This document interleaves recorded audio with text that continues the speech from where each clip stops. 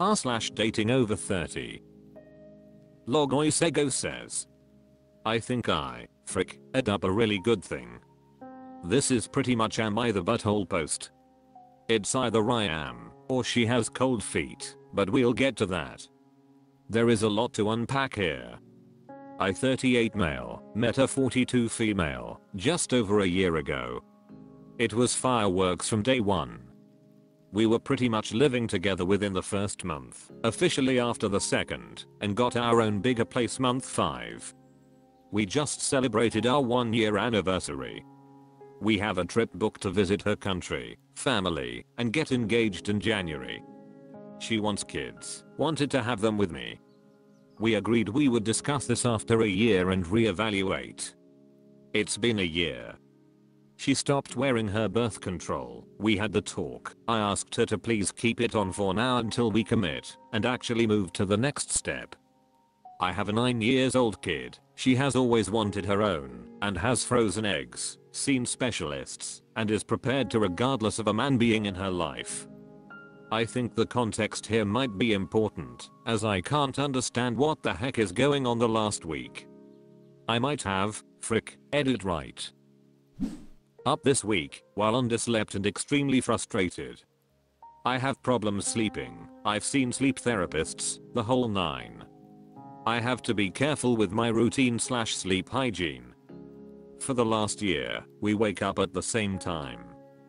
First, with my last job, we would get up at 5.30 to 5.45. Now it is 6 o'clock. The thing is, I'm a light sleeper and often wake up at 2 to 4 am, then struggle to get back to sleep. She doesn't need to be up until 6 o'clock to 6.30, she often works from home, but sets an alarm at 5.30 and 5.45, then both of us at 6 o'clock, 1 to 3 alarms, before we need to even think about getting out of bed. They seem to change all the time, her notifications and do not disturb settings have improved, as it would also be dozens of notifications on her email for the copious amounts of junk she gets. This has all driven me insane. I had to plead for her to set up her do not disturb until 630 or 7 am, dozens and dozens of times. Probably daily for the first few months. It drove me, frick, I'm nuts. I made it extremely clear that it was not acceptable to have dings beeps and other notifications at all hours of the night, as I would pop up instantly, and it would ruin the chance of a full night's sleep for me. We are talking a ding every 30 to 60 seconds, all night. It was to the point where I'd be taking sleep medication just to knock me out and reset every few days, which would impair me at work the next day. We also have a spare bedroom, and sometimes I'll just sleep apart for some solace. Anyways. This week, after a good period of her alarms being decent, there was one at 530, 545, 6 notifications, all of it. Earlier that morning, I woke up from her snoring at like 2am, I spooned her, and we had a quickie, and I knew I wasn't going to be able to sleep after that. I got up, made tea, relaxed, and then figured I'd try again around 4am, to get a couple more hours in. I was just getting to sleep at 5 o'clock and they woke me up from a dream, so was at least getting some quality time in, a whole hour before work. 530, 545 her alarms went off. I lost it at this point. I got up, threw on the lamp, basically said, frick, your, frick, ing alarms, why do you do this to me? Then put on my robe and threw my pillow at her as I stomped out. Yeah. A dick move. Not my proudest moment. She ignored me completely for two days, silent treatment, sleeping apart. And the last two days it has been better, but I've given her more distance too, as I know she's mad. She was disappointed we didn't have our Fredit weekly date night yesterday. I came home later after work to shop and gave us some space. We had a pretty normal night, chatted a bunch, set up the Christmas tree and everything seemed to be decent. Another strange one this week. We had a great time our anniversary a week ago. Multiple rounds of 6, we usually have daily anyways, and it was all normal. Then I noticed she didn't put on her birth control patch that week after her period. We talked about it, and I said, if you get pregnant, it happens, and I'm there for you, but could you please refill your prescription on Monday, since you're seeing your doctor anyway. She agreed. Tuesday I had UTI symptoms that went away, which I've never had before, and that was super strange. A few things were crossing my mind at this point, but I trusted her.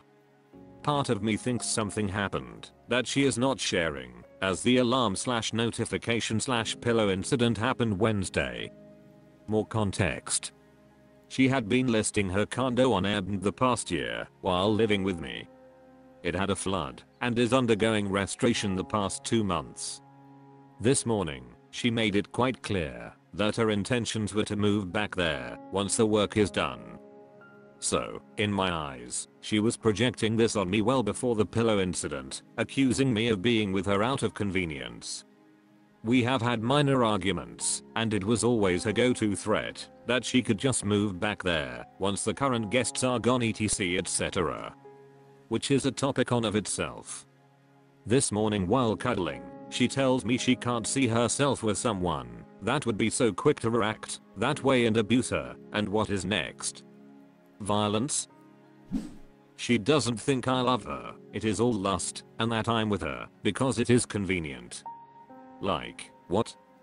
She lives with me, all my furnishings, in at first in my apartment, and now we share a house, so she can earn Airbnb income, and I'm in this for convenience. She talked about it with her sister, and doesn't see us working out. She intends to move back to her condo once the work is complete. I was floored by this. Am I the asshole? Am I just being played? Or did I not meet her expectations to help her conceive? I really can't make sense of this. She is extremely sweet, soft spoken, we have a language barrier, so communication is usually pretty clear, but we both miss nuances here and there which has led to some escalation, but really? I'm heartbroken, but I can't help but think she is just acting out again and using this threat to hurt me for whatever reason. Or, she has already checked out long ago and is in fact using me and possibly already with another person somehow. I have no idea what to think. Crotcheting Librarian says, I think y'all moved way too fast and didn't get to know each other before reaching all these relationship milestones. Throwing a pillow at her out of anger is definitely a red flag, sorry. It's out of line, and it is abusive. She also crossed boundaries multiple times by stopping her birth control unilaterally. Again, I think you all move too fast and unfortunately are spotting red flags that you probably ignored before.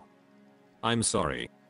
Maybe things will work out if you reconcile maybe get couples therapy and individual therapy.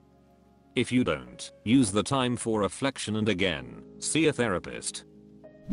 Immortal underscore wombat 89 says. Dude this story is, frick, ed up on so many levels. This sounds like a toxic relationship to me from both sides. Way too fast for everything. You don't even know each other yet. Just be happy she isn't pregnant and get the frick out. You both should have taken everything way more slow.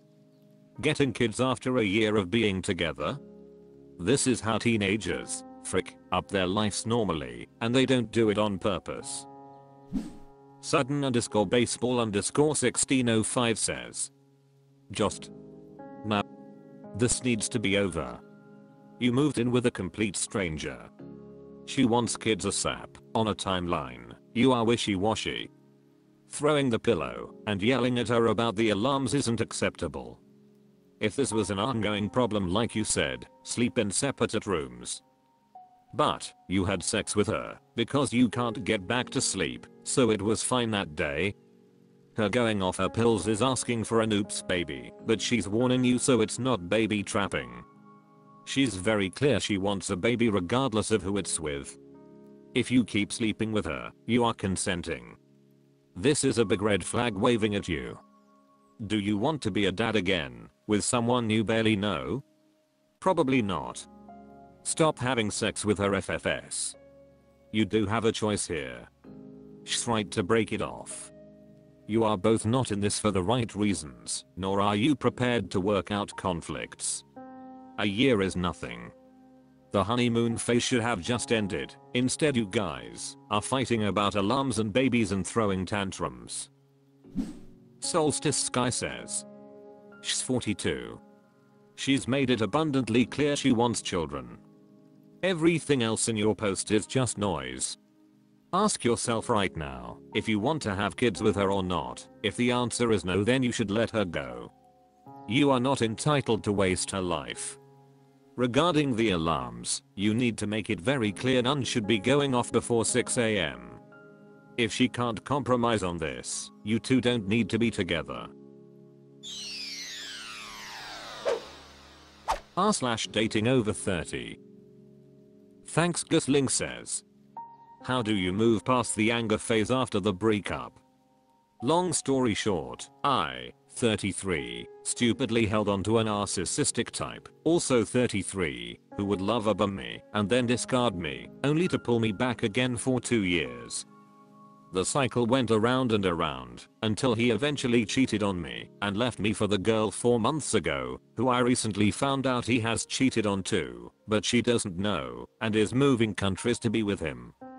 I know in my heart it has been a blessing in disguise as his own friends warned me to stay away from him and I chose not to listen, so it ended up being him ending it in the most savage way possible. I can't seem to get past my rage. I'm so bitter that life continues to reward him and I'm the one who was an idiot, addicted to the cycle, and I'm the one left picking up the pieces, whilst he gets to have a full relationship, while I struggle with the dating scene since it's not kind to women over 30 and live in a luxury apartment his parents bought for him. A part of me wanted to contact her and tell her, but I realized that it wasn't my place and would be for purely vindictive reasons. Before anyone suggests therapy, I'm already in it for my abandonment issues and self-worth. I'm very aware I have work to do there. I'm also on stress now. I just don't know how to get over the anger and bitterness. Anonymous 558686 says. Look into how to process the emotion and once you've done that forgive yourself and move on. Equivalent Force 191 says. As someone who has been in your position before, I can say that it's completely normal to feel angry. I mean, you trusted this guy, and he betrayed you. It's the crappy feeling when someone you love cheats on you and insults your intelligence in the process. However, if there's one thing I wish I knew when I was in your shoes, it's this. He never deserved you. You deserve the type of guy who appreciates everything you do for him and would move mountains to be with you. The type of guy who brings out the best in you and makes you feel happy. This guy clearly does not bring out the best in you if he's making you angry in addition, the fact that he chose to cheat instead of ending a relationship, if he's not happy in it shows that he's inconsiderate. Even though it may seem like life is rewarding him, here's the reality. He's with the girl who is most likely going to find herself in your current position in a few months. This girl has no idea she cheated on him, which means she's in a relationship with a liar. Heck, he is someone who probably cheats in every relationship and thinks he is slick enough to get away with it. Be thankful that you are now rid of him and free to find the type of guy who respects you. It'll take time to heal, but you will eventually. Smashbuster says. I struggle with the dating scene, since it's not kind to women over 30 it looks very good to me, I, M37 major city, see no shortage of beautiful eligible women in their 30s on apps. I don't even bother with anyone under 30. Too much of a wood girl vibe from anyone in their 20s. Parenthood isn't really attractive anymore.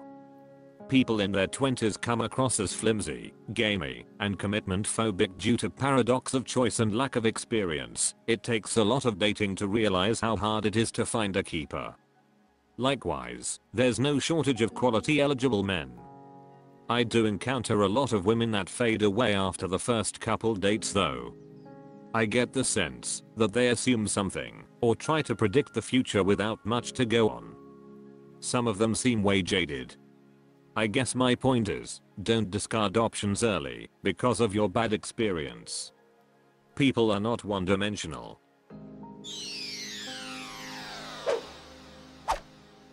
That's all for this video thank you for watching please subscribe.